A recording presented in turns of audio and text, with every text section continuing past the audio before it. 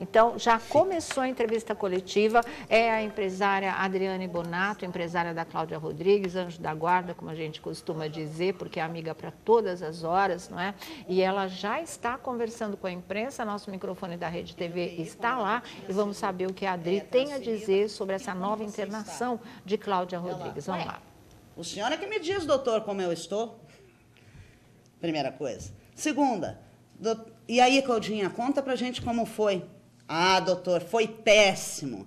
Então, por aí a gente vê que a nossa guerreira voltou, voltou bem. E ah, não tem expectativa nenhuma de alta ainda, não tem expectativa dela sair da semi para o quarto, é, não tem data ainda, não tem previsão. Expectativa nós temos, claro, mas a previsão agora só depende dela, ela está recuperando muito bem ela está bem. Eu posso garantir que ela está bem diante do quadro que ela apresentou, tá? Adriane, boa tarde. Boa tarde. Estamos ao vivo aqui na Tarde é Sua com a Sônia Abrão. Tudo bom, Sônia? colaboradores. Boa, você acabou de comentar o motivo da internação dela. Sim. Nós não estávamos ainda ao vivo, agora nós estamos. Gostaria que você repetisse, então, o que de fato a levou novamente ao hospital. Ontem foi divulgado que ela teria tido uma crise convulsiva, mas parece que não teve nada disso, né? Olha, eu fiquei boa muito chateada. Boa tarde, boa tarde, Sônia. Boa, Boa tarde, a tarde, todos os querida. telespectadores da Rede TV, da Tarde é Sua, ao pessoal da bancada. É, é o seguinte, eu fiquei muito chateada com essa jornalista em particular que deu o start a essas notícias. Primeiro, a Cláudia não teve convulsão.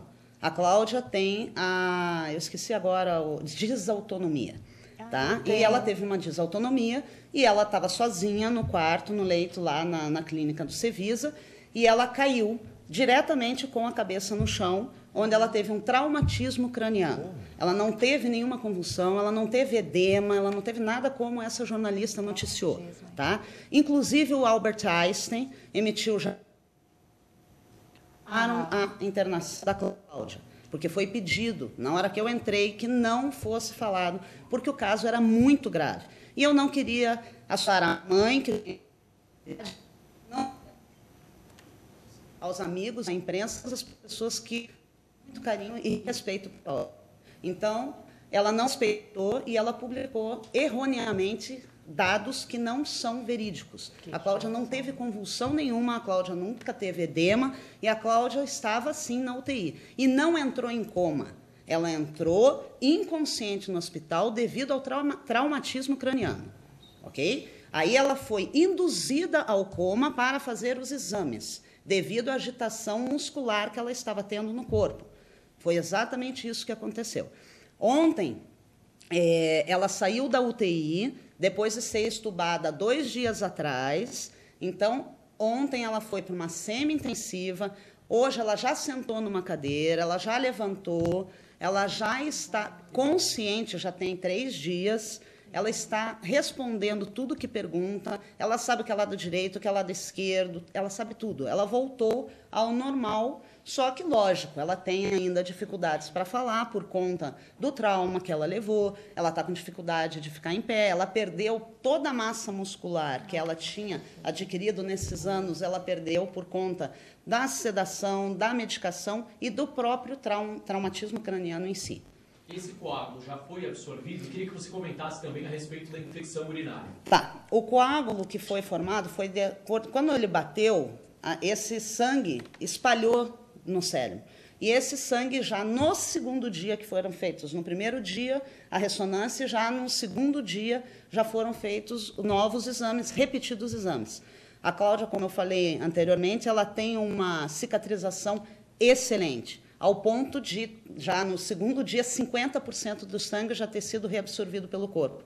E é isso que fez com que ela eh, voltasse mais rápido, a, a- a reagir mais rápido ao trauma. Ah, quanto à infecção urinária, isso é causado por diversas coisas que a gente não sabe ainda. Por quê? Pode ser pela intubação, porque fica um cano ali que leva diretamente é, é, o ar para perto do pulmão, para o pulmão, para a traqueia. Então, por ali pode ter entrado uma bactéria, pode ter sido uma, uma infecção do próprio organismo, a defesa do organismo quanto ao trauma que ela teve. Previsão de alta ainda não temos? Não temos, não temos. Eu, eu gosto sempre de dizer, e eu sempre falei, eu falo em todos os, todas as vezes que vocês até me entrevistaram na porta do hospital, que o médico dos médicos é Deus. Eu tenho uma ligação muito forte com Deus. Eu falei para os médicos que ela ia sair da, da UTI. Um dia, hoje é meu aniversário, oh, então era o meu presente de aniversário. Eu conversei com ela, eu conversei com Deus. E Deus deu a oportunidade dela estar de volta com a gente aqui.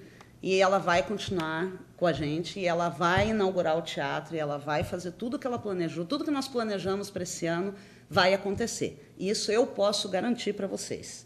Porque eu conheço a Cláudia, eu conheço o estado que ela se encontrou.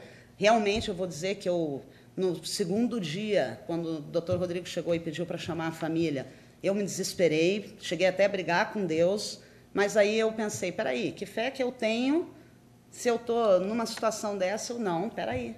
E aí eu.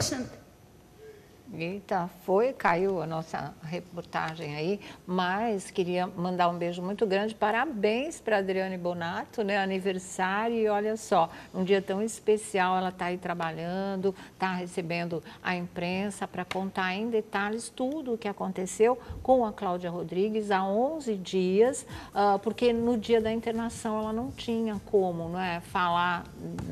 Tudo, dar detalhes, porque todos os exames ainda precisavam ser feitos, essa coisa toda que ela acabou de explicar aqui para gente. Notícia boa é que a Cláudia está reagindo, né? Já, já já saiu da UTI, vai poder realmente, logo, logo, se Deus quiser, receber alta. Então, continuamos torcendo Graças de verdade por ela, né? já deu certo. Manda mensagem. E parabéns, um beijo aí para Adri. E nesse dia ela pode trazer uma notícia, né? Porque Boa, ela entrou com um né? quadro gravíssimo Sim, e agora já tem aí essa possibilidade. Né? Sangramento no cérebro e de repente deu tudo certo. Felipe.